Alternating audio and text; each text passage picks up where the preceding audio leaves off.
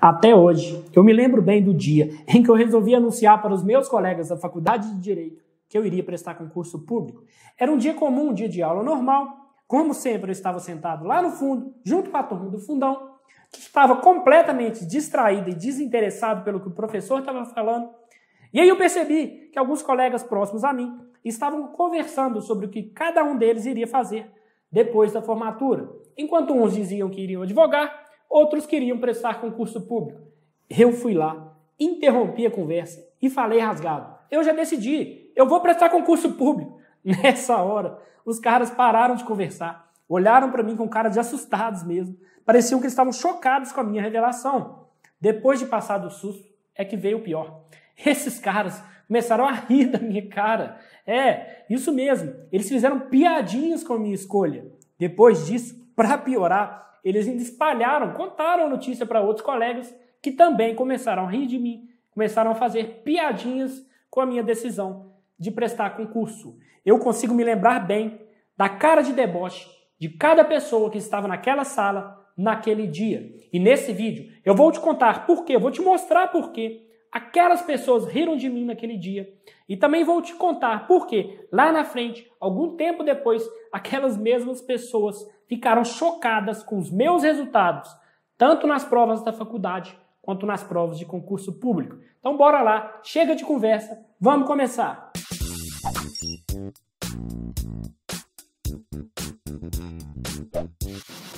Opa, beleza? Aqui é o Guilherme Machado, autor do blog Quero Passar em Concursos. É o seguinte, para que você saiba exatamente por que, que meus colegas riram de mim quando eu disse que ia estudar para concurso público, eu vim aqui para a tela do meu computador para te mostrar, para abrir aqui na sua frente, meu histórico escolar na Faculdade de Direito. Vamos lá? Estou aqui no site da PUC Minas e vou entrar aqui na área do aluno. Eu estudei nessa faculdade, eu não estudo lá mais, é claro, mas ainda tenho acesso ao sistema. Eu coloquei aqui minha matrícula, minha senha, origem graduação, entrar.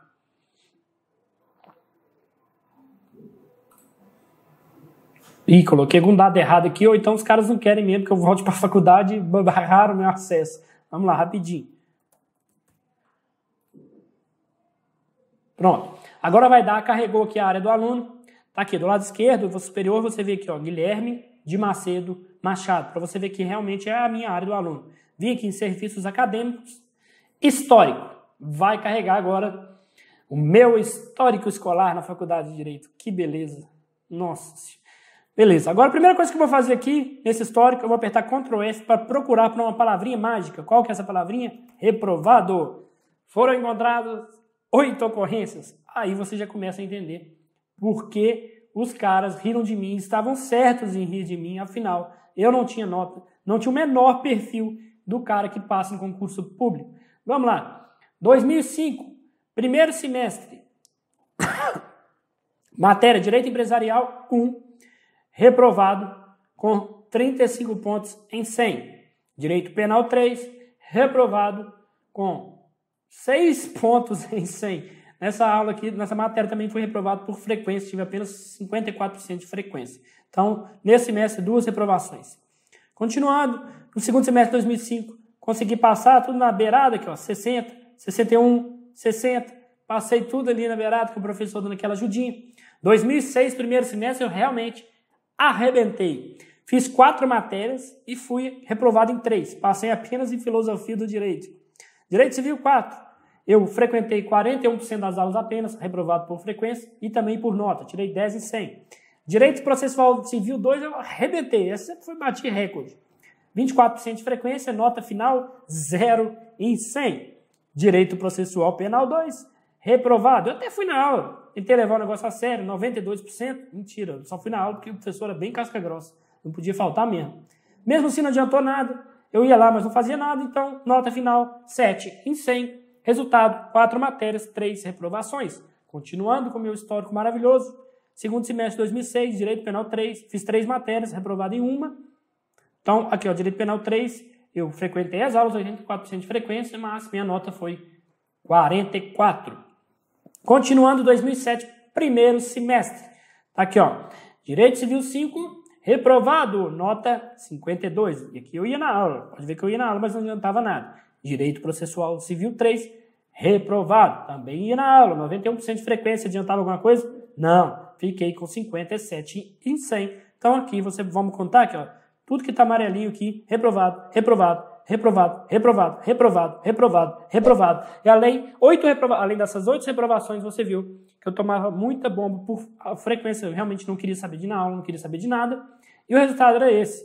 E oito reprovações só nesse início do curso. Então, esses casos estavam muito certos em rir de mim, porque realmente eu não tinha, com essas notas aqui, menor perfil de quem passa em concurso público, não é isso? Mas aí a coisa começa a virar. Foi nesse semestre aqui que os caras riram de mim, que eu decidi estudar para concurso público. Eu falei, eu vou adquirir o hábito de estudo e vou passar nessa porra, não quero nem saber. E aí eu ia lá para a biblioteca da faculdade, meu amigo. Primeiro dia, conseguia estudar cinco minutos, conseguia ficar sentado ali não, olhava pro livro, ó, não estou acostumado com isso não. A perna coçava, ficava inquieto, não queria sair dali a qualquer momento, pronto, saí correndo. Mas no dia seguinte eu estava lá de novo. É, no dia seguinte eu estudava um minutinho a mais, dois minutinhos a mais. Era uma bosta isso tudo, não rendia nada. Ficava completamente distraído, disperso, inquieto ali naquele lugar. Mas eu estava sempre lá no dia seguinte tentando de novo. E aí eu conseguia ficar mais alguns minutos, depois mais algumas horas. Quando eu vi, meu amigo, eu estava estudando várias horas seguidas, eu estava voando. E aí os resultados começaram a aparecer. 2007, segundo semestre. Depois de um histórico péssimo, a coisa começou a mudar. Foi 2007, segundo semestre, que eu resolvi mesmo prestar concurso público. E aí comecei a levar o curso a sério. E olha os resultados quando começaram a aparecer aqui nas minhas notas. Virei realmente um cara estudioso. E ninguém começou. E fiquei quieto na calada, tá? Não falei nada com ninguém, não anunciei. Ah, tô estudando pra caramba, não. Falei, ah, é? Vocês riram bacana? Beleza, vamos ver quem ri por último. E aí, olha aqui, minhas notas começaram a melhorar. Nesse semestre, segundo semestre de 2007, não tomei nenhuma bomba. Fui, olha aqui a frequência: 100% de frequência, 100% de frequência, 90% de frequência, 83%. Fui nas aulas, levei o negócio a sério. Não tomei nenhuma bomba. E tive notas aqui, ó, 94, 96, 84, 84, 83, 82. Realmente eu arrebentei nesse semestre. E foi no, justamente nesse semestre que veio minha primeira prova de concurso público, concurso TJMG 2007 para nível médio. E agora você vai começar a entender por que esses caras ficaram, você está entendendo, né? Ficaram chocados com os meus resultados aqui na faculdade, quando eles começaram a mudar, e também concurso público. Logo no primeiro semestre meu que eu virei o cara estudioso, Tá aqui, ó. Minhas notas melhoraram muito na faculdade, já deixou a galera, opa, o que, que tá acontecendo com esse cara?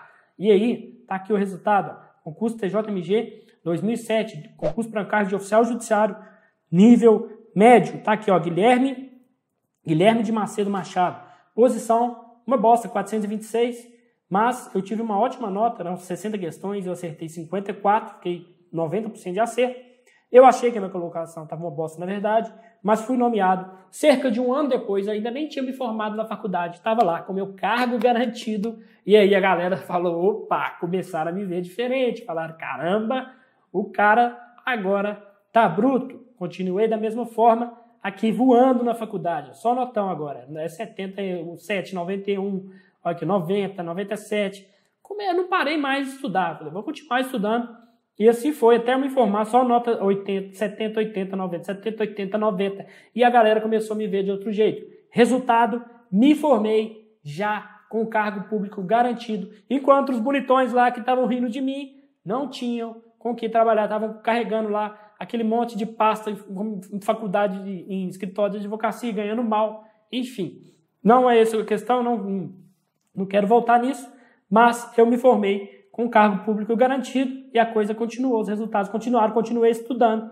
até que em 2012 veio aqui, ó, outra nomeação, TJMG, dessa vez para um cargo de nível superior em direito, já tinha me formado, prestei esse concurso, está aqui o resultado, que aí chocou a galera ainda mais. Técnico judiciário, técnico judiciário, que é a nomenclatura do cargo de nível superior em direito no TJMG, está aqui, ó, Guilherme de Macedo Machado, posição, classificação, número, em 13 terceiro lugar, nomeado, logo na primeira chamada. Acabou por aí?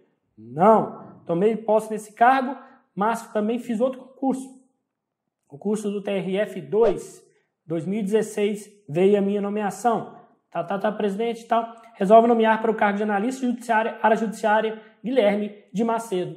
Machado, quer dizer, o cara que veio lá da turma do fundão, o cara que todo mundo fez piadinha quando decidiu estudar para concurso, riram de mim, tá aqui, ó, fui nomeado para um cargo que oferece salário inicial acima de 10 mil reais. Estou tranquilo, não preciso mais me preocupar com salário, com emprego, com cargo, com nada disso. Aposentei da vida de concurseiro estou aqui curtindo a vida de concursado. Entendeu? Foi por isso que os caras ficaram chocados com meus resultados, beleza? Agora não sai daí que eu tenho um recadinho rápido para te dar. Depois de tudo que você viu nesse vídeo, eu só quero que você saia daqui hoje com uma certeza: a de que qualquer pessoa pode ser aprovada em qualquer concurso público, mesmo que não goste de estudar, tenha sido mau aluno na escola ou na faculdade e não se ache capaz, porque qualquer pessoa com determinação, disciplina e persistência consegue adquirir o hábito de estudo. Se eu conseguir, você também consegue. E eu estou aqui para te ajudar nisso.